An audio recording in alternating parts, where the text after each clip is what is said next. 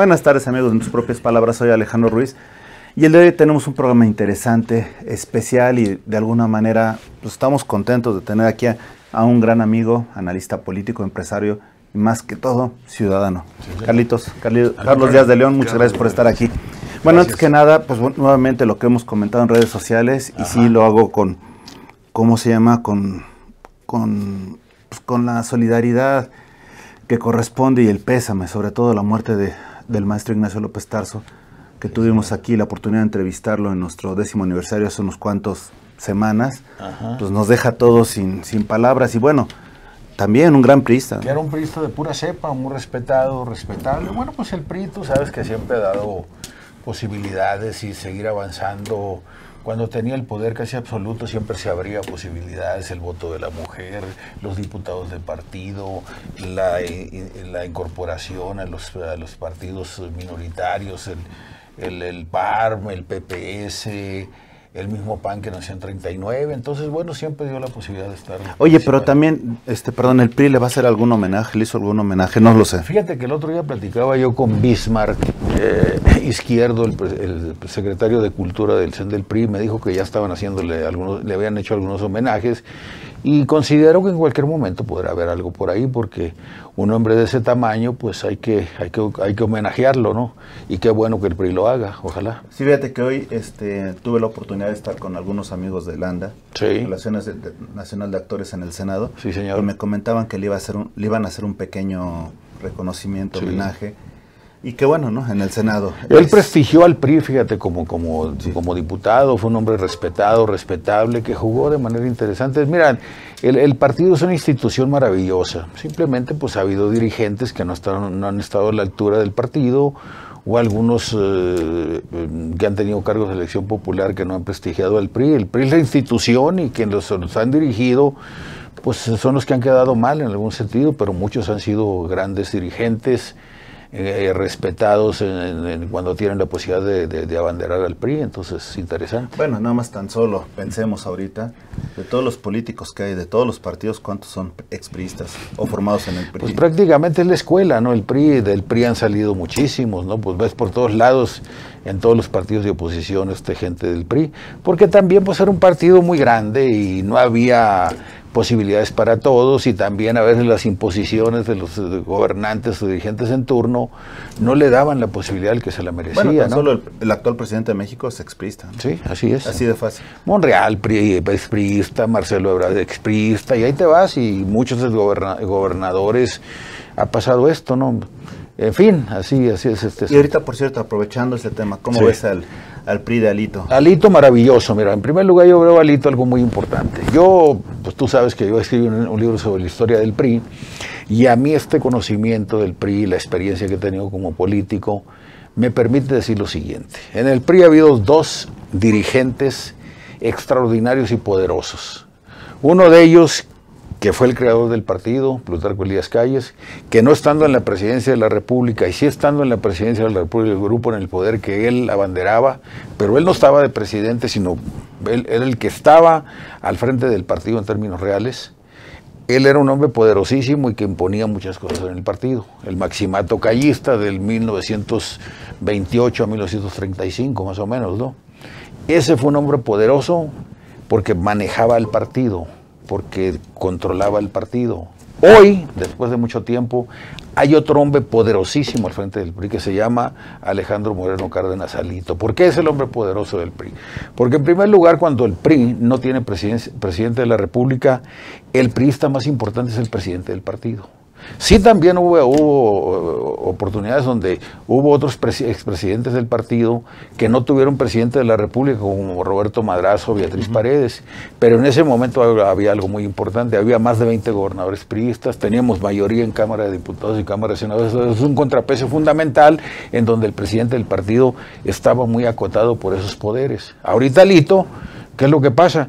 Tiene una, una diputación la subió de 46 a 71, tiene senadores alrededor de 13 senadores y tiene tres gobernadores. Entonces el hombre poderosísimo del PRI es Alejandro Moreno y está haciendo bien las cosas, que es lo importante.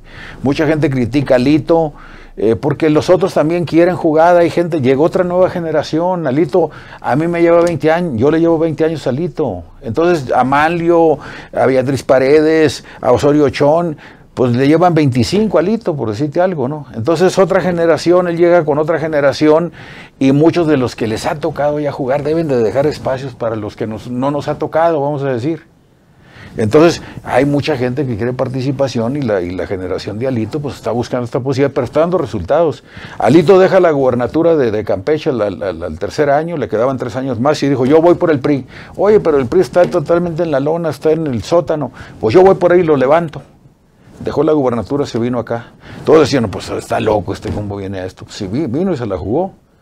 Y las primeras dos elecciones en Hidalgo y Coahuila levantó al partido, en 19 y el, 20, perdón. Y luego viene la elección del 21 y le dejaron 46 diputados federales y lo subió a 71. Le dejaron 13% de la votación en 2018 y la subió el 2021 a 18%. Entonces, eh, ha ganado muchísimas presidencias municipales, le achacan a Lito que perdió gubernaturas, pues si el PRI perdió gubernaturas cuando estaba en el poder. Peña tenía más de 20 gobernadores en, su momento cuando dejó la presidencia y el PRI perdió el poder teniendo más de 20 gobernadores. ganó Andrés Manuel la presidencia. Y luego después vienen los otros presidentes y Malio tiene, eh, eh, pierde nueve gubernaturas y este René Juárez y Claudia Rizmacié perdieron como 13 gubernaturas. Entonces viene una, una, una avalancha, una bola de nieve que va perdiendo. Entonces Alito perdió también, pero ¿qué pasó también con lo de Alito? Muchos gobernadores les ofrecieron este, embajadas o consulados y les dijeron, y, pero nada más dobla las manos, este, baja los brazos y déjame la plaza tranquilamente. Sinaloa, Sinaloa, mi estado, Sonora, Hidalgo, Oaxaca, y te vas a Nayarit y una serie de cosas. Entonces hubo gobernadores que dijeron, pues les pusieron un puente de plata y dicen, pues sí, sí, lo acepto, me voy de embajador, no me haces nada conforme lo que yo hice porque se comenta que hubo algunas corrupciones por ahí, entonces Andrés Manuel dijo no les hago nada, pero déjenme la plaza. Entonces Alito no perdió las gubernaturas y se las achaca la gente, no, no, no, ya venía una avalancha de pérdidas y en ese sentido él detuvo en alguna medida cuando se gana este Durango. Que, que Durango, el candidato de Durango es priista y hubo una alianza PAN, PRI, PRD y se ganó ahí es que ahorita si no hay alianzas no ganamos. El, mismo Morena, si no se alía con los chiquitos que trae, el verde y el, y el, y el PT tampoco no gana muchas posiciones. Oye, pero espérame un segundo, nada más. ¿Cómo ves ahorita en ese sentido el panorama en el Estado de México y Coahuila? Bueno, el panorama, Coahuila de, antemano, yo, este, gobernador que hace el, trabajo de manera interesante, como el caso, el caso de Coahuila, yo no tengo ninguna duda, es un prismo muy militante, bien organizado, estructurado, muy cercano a la gente, que da resultados, y traen un candidato joven, pero experimentado, que es muy importante. Entonces, una gente ya probada, este, Manolo Jiménez, no tengo duda de que va a ganar. Y además están divididos ahí la oposición. Eh, se dividió, entre otras cosas, Guadiana por un lado y Mejía por otro lado. Ahí se divide la, alianza entre Morena y el PT. Entonces, eh, que en el Estado de México, ¿qué, veo? En el Estado de México hay estructura. Eh, si hay un PRI organizado, estructurado, de pura cepa en el país, es el PRI mexiquense. El PRI mexiquense ha demostrado algo muy importante. En el 1999 Montiel gana la, la gubernatura, aunque se haya perdido la presidencia en el 2000. El 2005 este, Peña Nieto gana la gubernatura, aunque, sea, aunque, haya, aunque el PRI no haya ganado la presidencia, pues la ganó Felipe Calderón en el 2006. En el 2017 gana Alfredo del Mazo la gubernatura y aunque Andrés Manuel haya ganado la presidencia de la República el 2018. Entonces el PRI ha ganado gubernaturas a pesar de que se haya, no se haya ganado la presidencia de la República. Entonces, ¿qué nos dicen en este sentido? Por hoy yo, yo digo lo siguiente, es una, es una elección atípica el Estado de México, porque no significa que si ganas la gubernatura del Estado de México ya vas a ganar la presidencia de la República. Con los ejemplos que te digo, bueno, pues no se ganó, pero hoy se da una, una, una situación muy interesante. En primer lugar, hoy va a ser una elección tipo balotaje. Balotaje significa segunda vuelta en francés. Va a ser una, una, una, una, una elección polarizante o polarizada. Y en este caso, cuando MC no se mete a la contienda por ser un tercer competidor, dice, eh, eh, sabe que va a ser una elección polarizante, que va a haber dos sopas, y la sopa de, de MC no iba a pintar, yo creo que hasta el registro iba a perder en el Estado de México y participaba. Y también en Coahuila. Sí, porque la gente va a votar el voto útil, y el voto útil es decir, este, el que es antimorena es antimorena y el que es morena es morena, pero ya vimos otra cosa muy importante. Si el 2018 Morena ganó 30 millones de votos, ya ahorita trae 15 millones de votos, que son muchos, sí, pero ya no le alcanza para ganar. Entonces yo siento que las alianzas eh, en este momento ya llegaron para quedarse. Esta alianza del PRI la siento bien. La candidata del Estado de México, Alejandra Morales, es una joven mujer bien plantada, guapa, echada para adelante este, sin ningún negativo por ahí, eh, puesta a, jugarse de manera importante, muy incluyente, muy respetuosa de las, de las alianzas, de la gente que, que se ha incorporado con ella. Y este, por otro lado, Delfina, pues es una candidata impresentable por lo que pasó en Texcoco, por lo que hizo en la Secretaría de Educación Pública. Y que siguen apareciendo entonces, cosas. Entonces yo digo, lo, mejor es lo siguiente, ya ni, ni, ni, batallemos en, el PRI por, por, por eh, quitarle la candidatura, al contrario, que siga de candidata porque su mismo, su mismo perfil, la gente ya lo, ya lo conoce y mejor una candidata impresentable, porque siga de candidata y al final de la jornada no tengo la menor duda que el, el prismo mexiquense, como lo hizo en el 21, en el 21 se ganó prácticamente toda la, mitad de la Ciudad de México y la zona conurbada de la Ciudad de México hacia el poniente. Entonces, ese, ese bastión importantísimo de la Ciudad de México más el, la zona conurbada del Estado de México fue la que detuvo el que ah, Morena y sus aliados no ganaran mayoría calificada. Y en ese sentido, pues bueno, ya estamos viendo que hubo una, una, una contención, un, bloque muy importante que detuvo todo este tipo de, decisiones, eh, eh, pues de, imposiciones y de regresión democrática. Entonces, no tengo duda en ese sentido. Carlos, nada más aquí considerando, estamos hablando de Coahuila y el Estado de México como un laboratorio de lo que viene. Sí. Pero aquí, por ejemplo, en Coahuila, ¿realmente es representativo ese laboratorio de lo que vendrá o nada más es un caso aparte? Mira, lo de Coahuila eh, yo creo que es el prismo que debemos recuperar en el, eh, a nivel nacional, un prismo que da resultados, un prismo que finalmente cuando llegan al poder militantes eh, del partido tienen que ser muy agradecidos con el partido que los llevó al poder, porque muchas de esas gentes que llegan a gobernadores, a alcaldes, a senadores, a diputados, sin la estructura del PRI no hubieran llegado a esa posición. Entonces, tienen que tener la gratitud de reconocer que en base a ese vehículo llamado Partido Revolución Institucional llegaron al poder, porque muchas, todos como candidatos necesitamos partido pero un partido estructurado, organizado, y el PRI lo tiene. Entonces no es la misma que te subas, como yo hago un, símil, entre una carrera de caballos y una candidatura eh, electoral.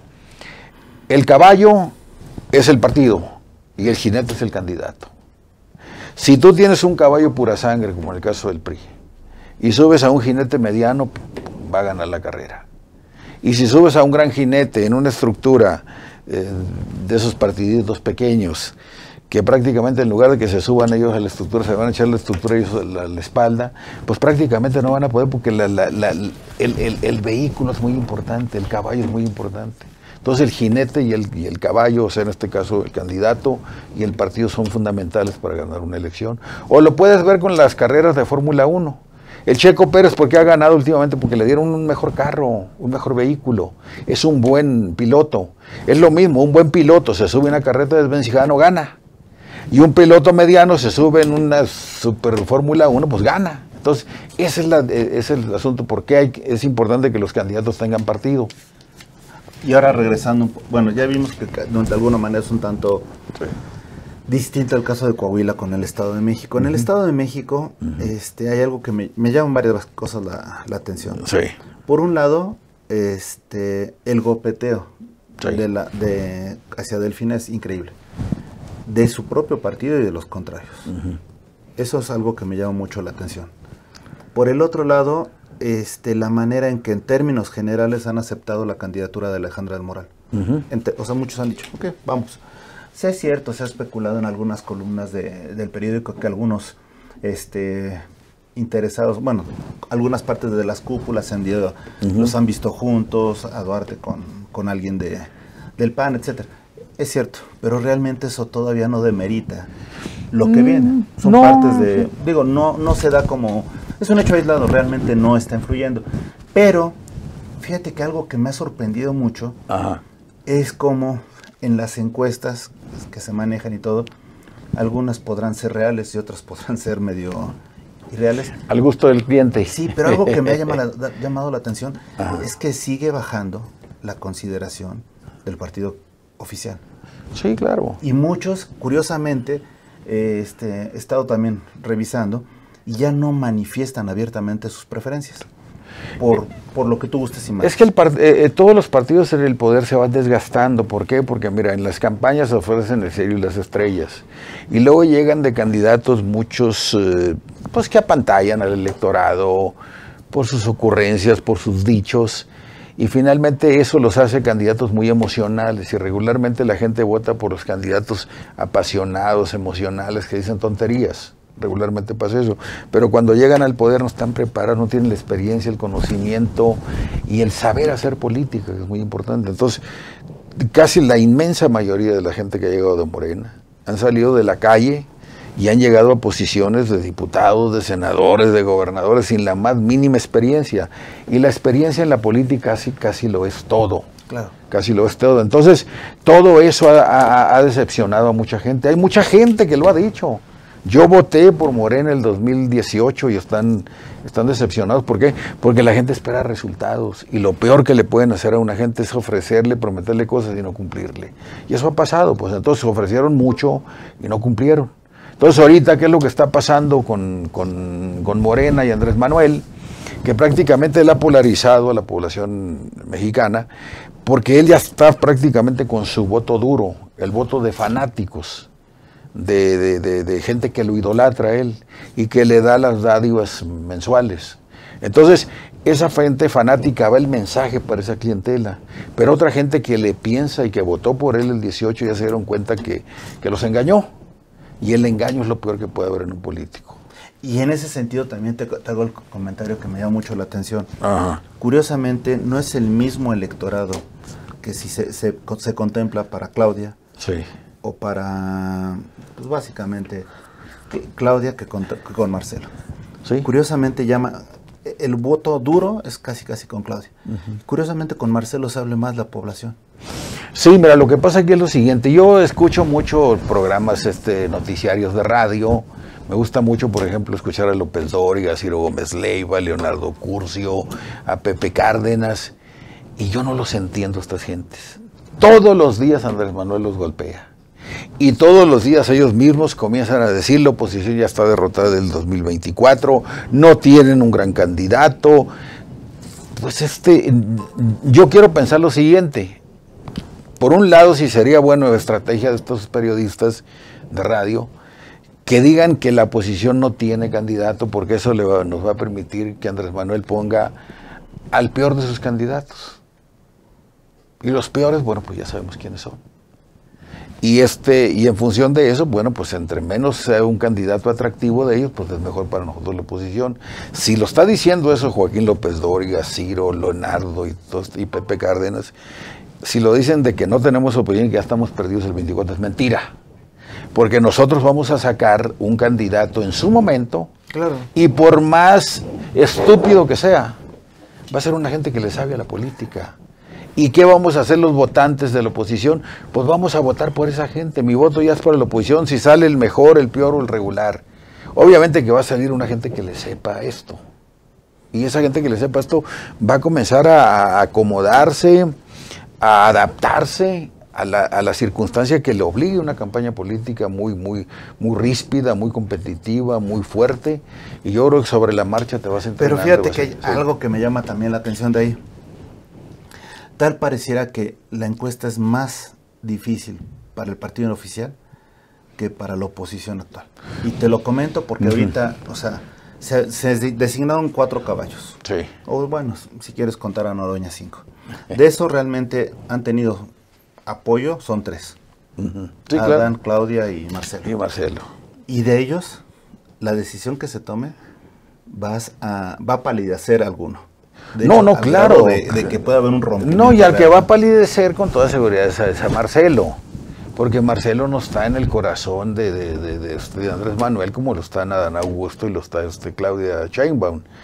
Eh, ¿Qué hacen regularmente? Eso lo, vimos- lo hemos visto en la historia nuestra de- del país, que el presidente en turno regularmente quiere poner a uno manipulable y controlable. Andrés Manuel ya se dio cuenta que Marcelo, cuando él lo dejó de, de- de jefe de gobierno de aquí en la ciudad, no fue controlable. Entonces no es una gente que responda a sus intereses. Le quedó mal. Y además generó em- simpatías en donde él no las hizo. Claro. ¿Y quiénes son controlables? ¿Quiénes son los títeres de Andrés Manuel? Pues Adán Augusto y, este, y Claudia. Entonces va- él va a decidir por ahí porque, porque él quiere y debe tener un control este, eh, transaccional, es decir, tiene que seguir teniendo el control para hacer un mini maximato, vamos a decir, porque es lo que dice, necesitamos que este sexenio que yo estoy abanderando, más el que viene, ya crea la base, el cimiento, para que no reviertan todos los cambios que ha hecho. Ha hecho ca- cambios, eh, eh, este, hay cambios, pero para, para, para regresar, para retornar al pasado, como los que ha hecho él. Destruir instituciones, eh, este, destruir eh, reglamentos importantes, leyes, en fin, Destinar dinero a proyectos que realmente. Sí, que, que no, que son inviables, son Exacto. inviables. O sea, los, los tres proyectos de él es un tiradero de dinero. Dos Bocas, Tren Maya, el AIFA, y yo creo que también al final de la jornada hasta el mismo transísmico va a ser un tiradero de dinero. Entonces, él, este, pues no le interesa pues que, le- que le- que le- que el país crezca, que el país se desarrolle, porque cuando la gente sale de las clases atrasadas y pobres y que que sube a clase media ya comienza a pensar de otra manera y dice pues yo ya no soy, ya no estoy con este gobierno. Claro. Entonces él no quiere que la gente tenga eh, posiciones aspiracionistas, como dice pues. Y dentro de todo este contexto, vemos que el, el árbitro está sin- sintiendo y su- sufriendo golpe tras golpe tras golpe. Que vamos a tomarlo de dos maneras. Sí. En primer lugar, en unos días, tanto Lorenzo como Ciro Se van. están- se van. Se van. Curiosamente, se ha- en los medios de comunicación se ha dicho que se filtraron las respuestas del examen, de los exámenes Sí. que se aplicaron. ¿no? Es lo que se comenta. Pues eso lo ves con lo- lo- los eh, mejores este, calificados son gente totalmente eh, morenista. Creo que son cinco de los siete que... Sí, morenistas, morenistas. Entonces, algo sucedió, ¿no? La hija de eh, Berta Luján, este, Berta Alcalde, sacó 79 puntos de 80, imagínate. O sea, algo sucedió. Y, Y sin experiencia en la, la materia, sin conocimiento en la materia, no es una experta en derecho electoral, en todo ese tipo de cosas, y bueno, pues esas cosas. Y los otros también pasa lo y mismo. lo primero que hace es el posicionamiento de que regrese toda gobernación. Ah, claro. ¿Por qué? Porque ahí eh, eh, es tan sencillo lo siguiente. Mira, por ejemplo, cuando no hay una elección limpia y que la pueden anular, el país entra en conflictos muy importantes. Eso lo vimos en la elección de 1914, cuando Victoriano Huerta eh, da el golpe de Estado y luego está aplazando la convocatoria para la elección constitucional la plaza, la plaza, la plaza, hasta que se le descompone todo el, andamiaje. Y finalmente Félix Díaz, eh, Mondragón, Francisco León de la Barra se van del país, lo saca del país, vuelven.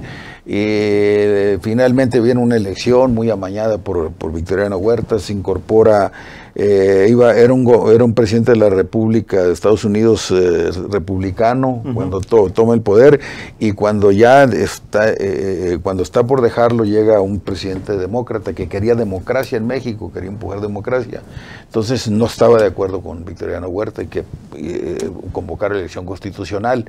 Entonces se anula la elección porque fue una elección muy amallada, muy, muy, muy controlada, muy manipulada. Entonces, eso provocó muchos, muchos este, enfrentamientos eh, intestinos en el país. Entonces, es importantísimo que las elecciones se vayan haciendo de manera periódica, imparcial, creíbles, con certeza, eh, que tu voto se cuente y que vayas a votar con tranquilidad. Si nosotros le damos en la torre al árbitro, ¿hace cuánto un juego del América y Chivas?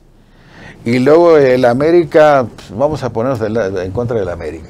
El América metió un gol con la mano y luego metió un gol en offside y luego este y le pegó uh, a otro golpe y metió un tercer gol.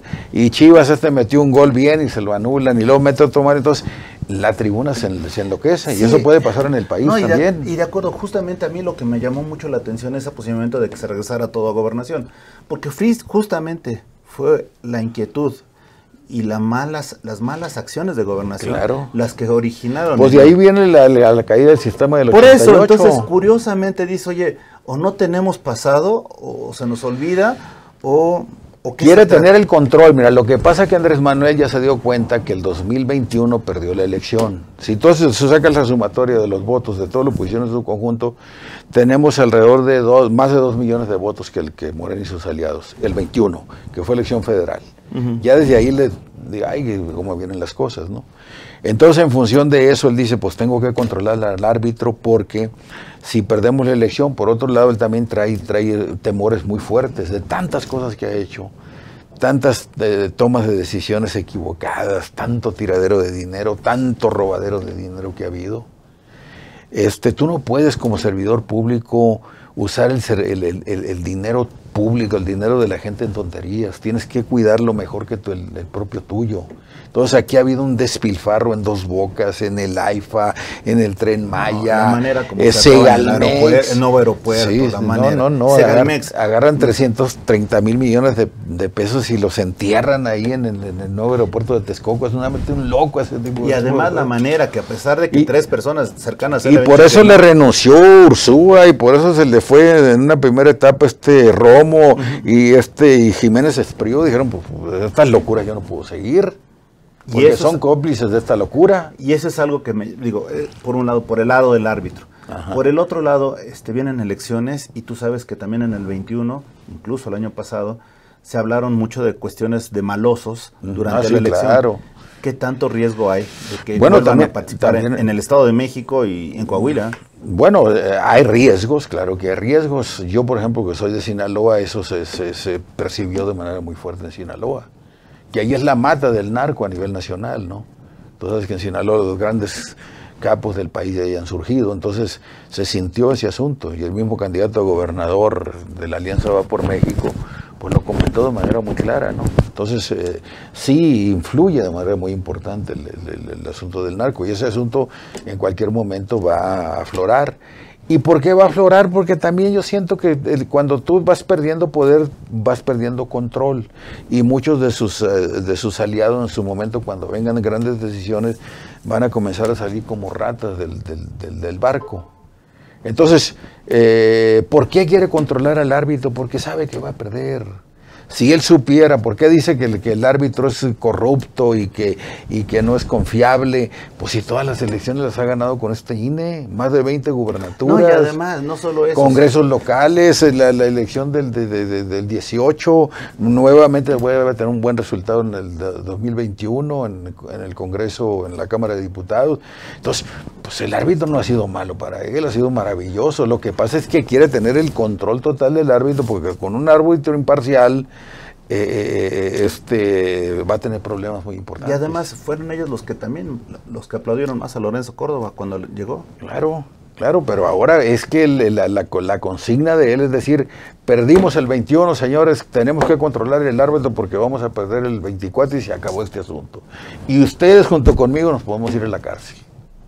Bueno, Así eso, ya no. Eso es interesante. Ahora, por favor, Carlos. Es que este asunto no puede quedar impune, mi querido Alex. No, no, no. Tú no puedes dejar impunidad de tanta locura que se ha hecho. No, y además, ahora yo tengo otra inquietud. Ajá. ¿Alguna vez te había tocado que se manifestaran los militares? Nunca. Yo no recuerdo, perdóname, en toda mi vida no, no, me había tocado. No, no, porque pues, la, la, la, la estrategia de, de, seguridad es la locura. Abrazos y no balazos. Es que si tú la ley no es coercitiva, pues te vale. Oye, pues si yo hago esto, la ley no me hace nada, pues sigo haciéndolo. Pero tira su basura en la esquina y vienen y te, y te, levantan y te meten una multa y te meten un día a los separos o a la cárcel, pues ya no lo vuelves a hacer.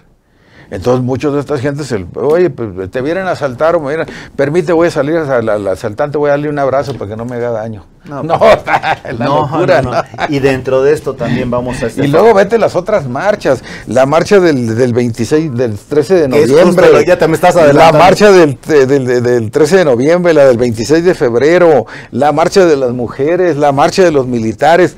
Todo esto te está diciendo que son marchas en contra de este gobierno. Y más de 100 mil. Sí, no, no, no, yo fui a la, yo fui, por ejemplo, a, las mujeres, yo calculo que las mujeres eran, unas 200 mil ahora hace poco, y luego fui a la, a la, concentración del, del 26 de febrero, fue la locura. Por eso, más de 100 mil, ¿no? Ah, no, no, no, ahí fueron como unas 400 mil. Exacto, por eso. y luego la, la, Pero te acuerdas que se había dicho que renunciaba así. Y la otra que no me tocó fue la del 26 de. Impresionante. pues yo no estuve, pero la vi, dije, en Mochis, que es mi tierra. Hasta me sorprendió de que fueron eh, eh, en marcha también ahí la gente de Mochis, que son medios apáticos. Pero en el país ya se está moviendo todo eso. Entonces, todo ese tipo de manifestaciones no es a favor de este gobierno, todo esa manifestación es, oposición, es en contra. Entonces un presidente que si no lee estas cosas como debe ser, la locura. Bueno, viene una contramarcha, la contramarcha que él hizo aquella vez con respecto a la, del 26 de, del 13 de noviembre, pues fue puro acarreo. Trajeron, trajeron de todas partes. Y se espera también lo mismo. Y, este luego ahora esta otra de acarreo, ya les dijeron a los diputados que tienen que poner lana para que venga la gente. Y los diputados, como son muy muertos de hambre los que llegaron, no dan un peso va a haber bronca, el mismo Nacho Mierva así, igual, ¿quiénes ponen? Pues no van a poner, porque ellos van por los suyos, que los agarraron de la calle y los hicieron diputados así, imagínate. Gente sin experiencia, sin, sin oficio ni beneficio, a ver, métete ahí. Entonces, pues es una serie de gente que están en, unas posiciones que no saben ni dónde están parados. Lo único que reciben es su dieta y mucha lana y les llaman diputados. Ah, a mí me llamas, pues no se la creen, ¿no? ¿Por qué? Porque no hay experiencia, no hay conocimiento.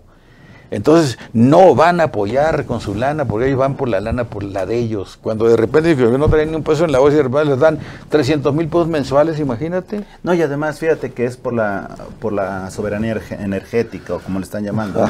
Y va a estar Cuauhtémoc. O sea, ya no entendí porque ¿qué no habló mal de, se habló mal de Cuauhtémoc?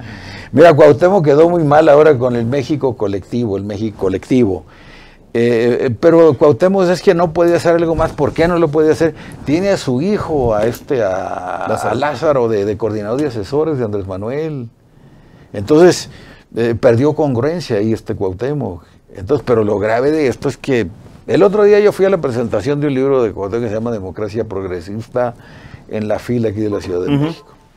Comentaron Janino Tálora y otro, uno de la Lama o algo así, o del, otro, otro este magistrado del, tribunal. Y este, y luego eh, yo pues voy a esos eventos para ver, para preguntar. ¿Qué pues, me podría decir a mí este Guatemala de nuevo? Pues nada, nada me dijo su libro. Dije, yo voy a ir a ver y le voy a preguntar luego que valga la pena. Entonces levanto la mano y ya no, ya no hubo este, preguntas. Entonces yo voy con Janino Tálora y la, la moderadora estaba ahí. Oye, pues si yo vengo a preguntarle, digo, pues si lo que me dijo él, pues ya lo sé. Quiero hacerle una pregunta, a ver qué pasa. No, pues que ya no hay tiempo porque nos dan 45 minutos, pues hablen 10 cada uno y le dan unos 15 a los que vamos a preguntar, les digo. Entonces le digo, ¿qué caso tiene? No, le digo, nos vemos, le dije. Entonces Janina también me dijo eso. Ah, yo voy a esos eventos para preguntar. ¿Qué me van a decir de nuevo? Pues si yo soy un estudioso de esto, soy un apasionado de este asunto. Leo y leo todos los días, estoy en la, en la, en la noticia fundamental, en el, tópico fundamental de este asunto de la, de la política, de la economía, de la política, de la historia, de todo tipo de manifestaciones, ¿no? Sí, y además ahora también parte de lo que es el, el plan B. ¿Eh? Poder Judicial, platícanos. Mira, el plan B ya tuvo dos derrotas importantísimas. La primera, que le, ya esté una suspensión con respecto a la ley de comunicación social, ya párenle no me acuerdo cómo se llama el, ministro que, que, detuvo ese asunto. Y luego viene ahora con la reinstalación de Edmundo Jacobo. Ya son dos derrotas importantes. Yo no tengo la menor duda de que los eh, ministros de la Suprema Corte son 11. Y de esos 11 estoy seguro que nada más van a votar a favor del plan Loreta Ortiz, que es esposa de Agustín Ortiz Pinchetti, que es el, fiscal electoral a nivel nacional. Y luego va a votar también Yasmín Esquivel, que es esposa de Riobó, el que hace los negocios de construcción con Andrés Manuel, el que le dijo eh, en tierra el, aeropuerto de Texcoco, ese fue el que le dijo. Entonces, esos, e, esas dos mujeres están totalmente comprometidas a votar a favor del plan B. Ahí van este, nueve contra dos, vamos a decir. Y hay un tercero que yo siento que se va a reivindicar, que es el, ministro este, Saldívar Lelo de la REA. Ese va a reivindicar porque ya, ¿qué, le, le, le, toca a él? Ya Andrés Manuel ya se va en un año y medio y él pues termina esto, tiene que tener, terminar él con un legado, eh, que la familia no se sienta perjudicada por su proceder y su, y su, y su acción como, como, como, ministro. Entonces, en un escenario normal creo que van a ser nueve contra dos, y en un escenario un poco que, que pudiera este Saldívar hacer alguna eh, tontería de ese tipo, pues serían ocho contra tres. Por lo tanto, eh, se va a detener el plan, el plan B. Y ahora otra de las cosas que me llaman la atención dentro de este, esta tormenta que se está dando, alguien tiene su tormenta propia, ¿no? Sí. La tesis. Las tesis. Las tesis, sí, exactamente. Pues ya este eh, eh, es un, no sé, una conducta sistémica, vamos a decir, de, de Yasmín. Este, todos hemos hecho nuestras tesis y y bueno, pues eh, hay, que, hay que pedalearle. Yo le intenté cuatro veces para hacer mi tesis, la primera y la segunda, y la cuarta la saco porque la saco. Entonces te pones a trabajarle y, yo ahí en la primera la sacó y dijo, pues voy a hacer, voy a copiar todo este tipo de cosas y va para adelante. Me salió la primera de, de licenciatura, pues voy por la segunda en la de doctorado, no me hicieron nada. Y luego estoy de acuerdo con mi directora de tesis, ¿no? Entonces, pues, no lo hicieron en la primera, pues en la segunda tampoco. Y este, y pues, este asunto de esta manera, ¿no? Entonces, es, brutal. No, lo, de Yasmín eh, ya está este, quemada para todos los días de su vida. Quemadísima. En donde vaya, va a ser señalada. Eso es, digo, de alguna manera lo que estamos viendo es, pues realmente nunca se nos hubiera ocurrido. Por más ficción que hubiéramos pretendido tener del, del día a día de México, nos ha dejado corta. Y ella era la, la, la, la, que estaba ya este, palomeada para ser la presidenta de la Suprema Corte en lugar de, de Norma Piña, de la, mm, ministra. ¿Cuándo salió Arturo Saldívar? Cuando salió Arturo Saldívar, exactamente, ya estaba este, perfilada Yasmín y le sacan lo de la lo de la tesis y se desmorona todo este tipo de cosas. Qué increíble, ¿no? Qué increíble. O sea, estamos es que en la vida, en la vida, en cualquier momento van, van a sacar nuestras cosas y por eso hay que manejarse de manera correcta en la vida, en cualquier momento. Alguien te va a hacer, y más te lo van a sacar cuando eres candidato, ¿eh? o cuando tienes un cargo importante. ¿Quieres que se conozcas hasta lo de lo que no te acuerdas? Métete a la política. Ay, ¿a poco hice eso? Sí. Ah, no me acordaba, pues aquí está el testimonio que sí lo hiciste. Qué fuerte, ¿no? pues sí, te metes a eso y eres una, una, figura pública. Y la figura pública, pues todo lo que ha hecho se conoce. Ahora te pregunto ya, dentro de todo lo que hemos visto, este, hemos tratado hoy varios distintos temas, platicamos del, este, del PRI, este, elección de Estado de México, de Coahuila, parte del Plan B, y pues obviamente estamos también hablando de lo que es, lo habíamos comentado, el candidato opositor. Vamos a profundizar un poquito en en el candidato opositor. Sí. Pero bueno, antes que eso, ¿qué nos va a dejar, qué nos dejó la marcha del 26 de febrero y qué nos va a dejar la marcha del próximo domingo?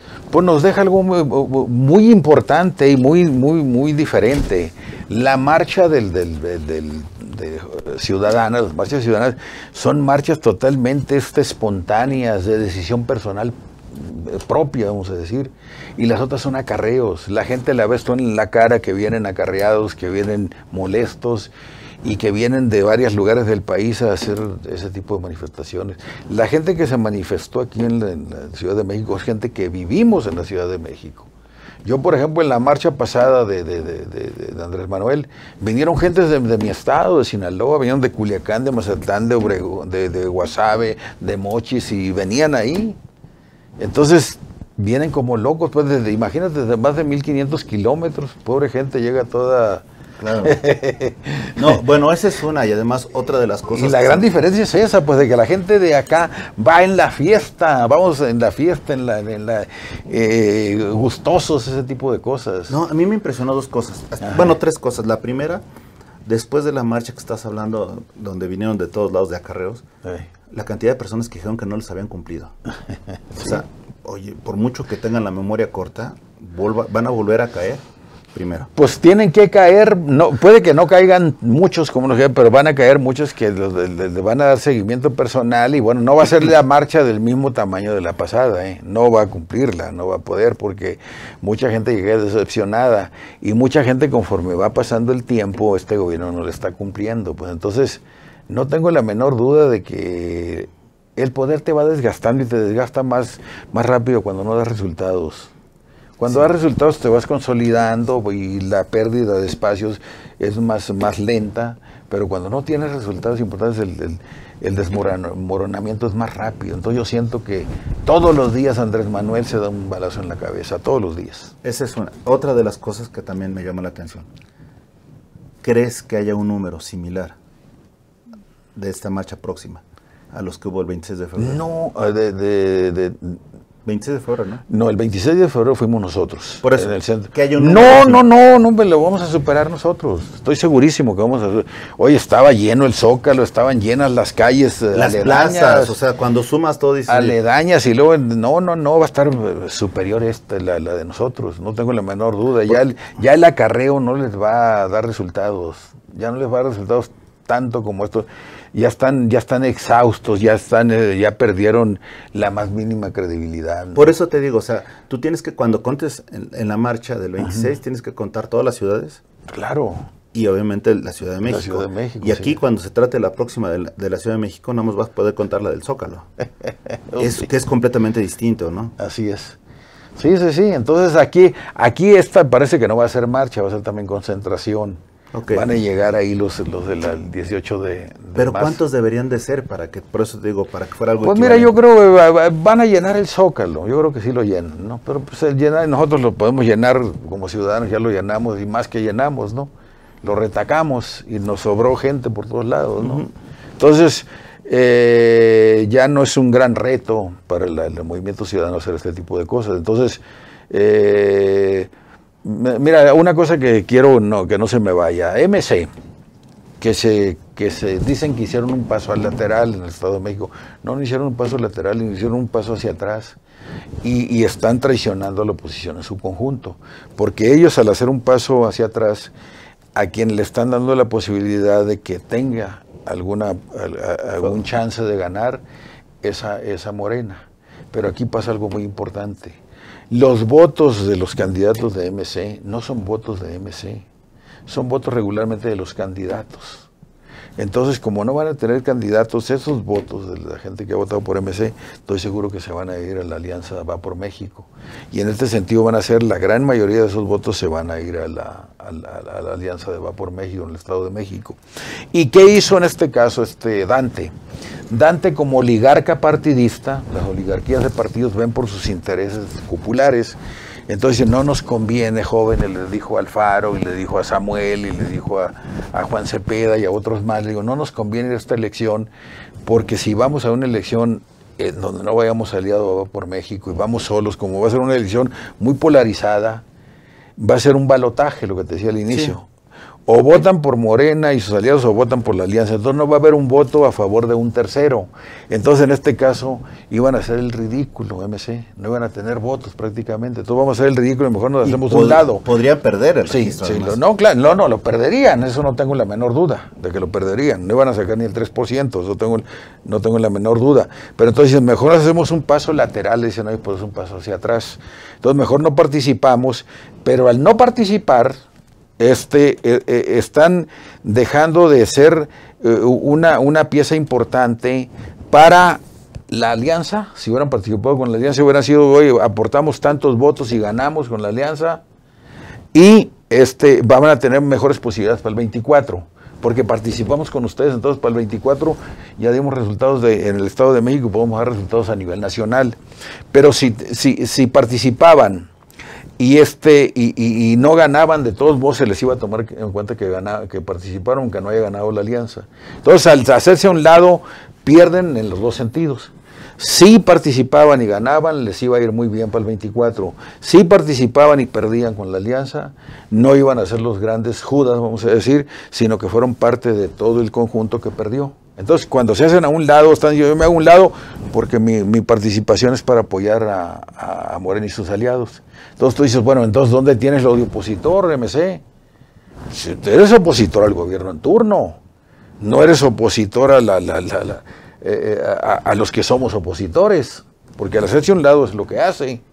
No participo y mi no participación significa desdeño a la oposición y al no participar apoyo de manera implícita a Morena y sus aliados. Claro, mira, nos quedan seis minutos. Sí, señor. Yo nada más te pregunto. Todavía se me hace prematuro hablar de un candidato opositor.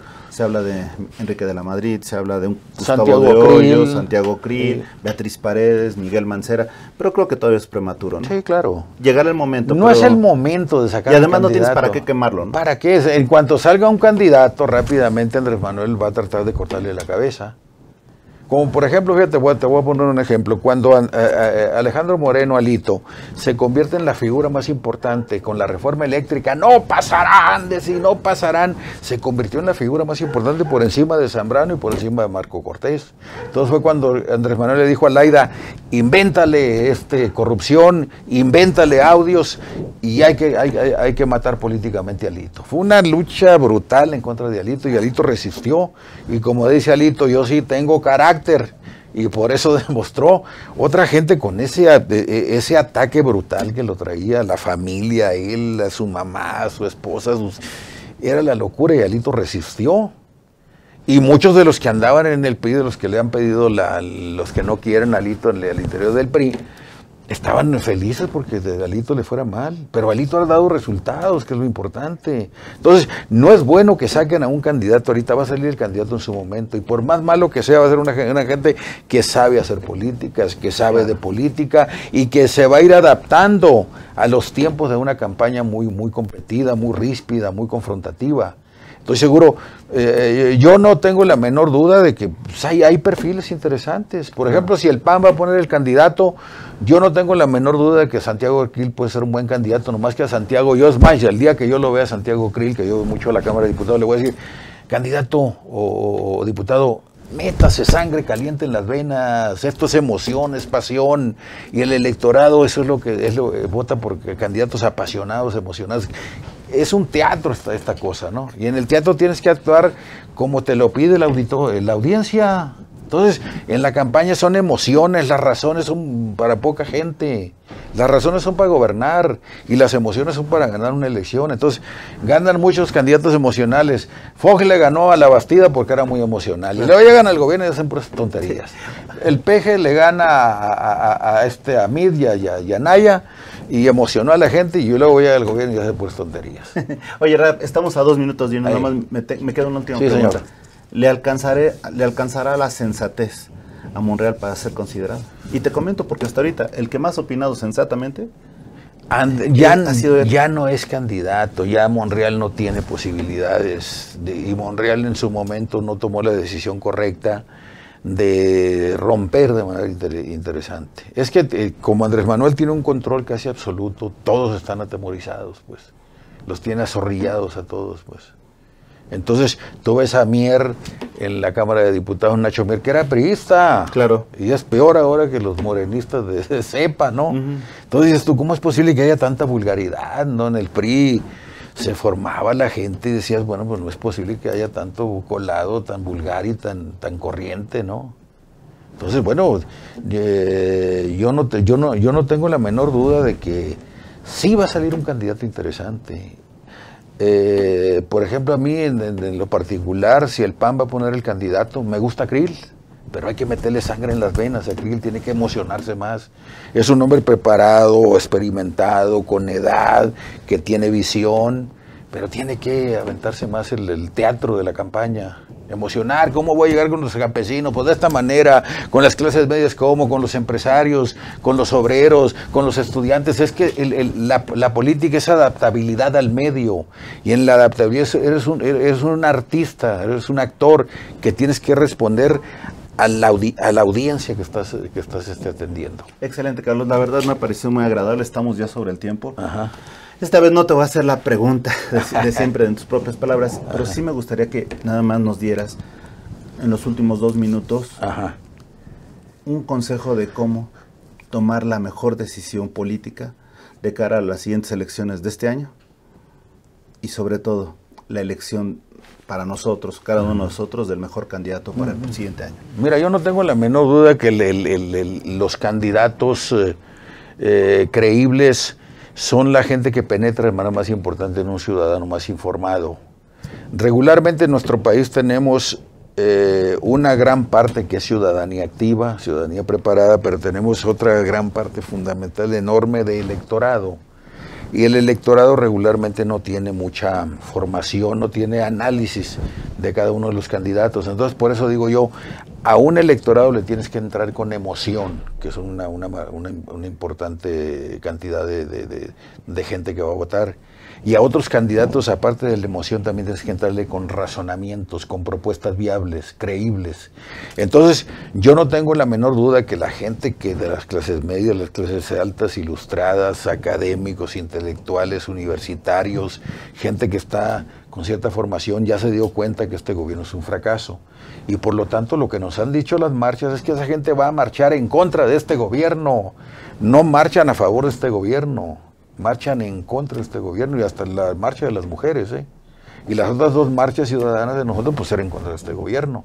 Entonces, esa manifestación ciudadana va a ser una vanguardia muy importante para remover el ambiente de muchas clases medias y clases altas, clases intelectuales, académicas, universitarias, que es una, es una votación patriótica esta, en defender la democracia, que es muy importante, la, la economía de mercado, nuestras libertades políticas, nuestras libertades económicas, la inversión, que es muy importante, el empleo, eh, la productividad, el crecimiento, el desarrollo.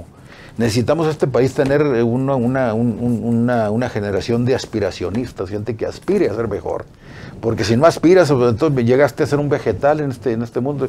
Y a ver qué me da la vida. Es que la vida es pelea, la vida es arrebatarle lo que tú quieres y esto te cuesta. Y es una esencia del derecho del ser humano. Claro, claro.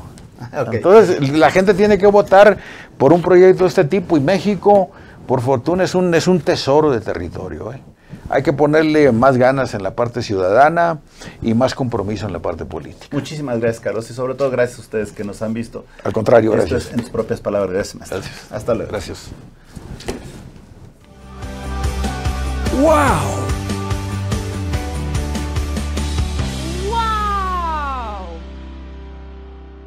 Wow. MX.tv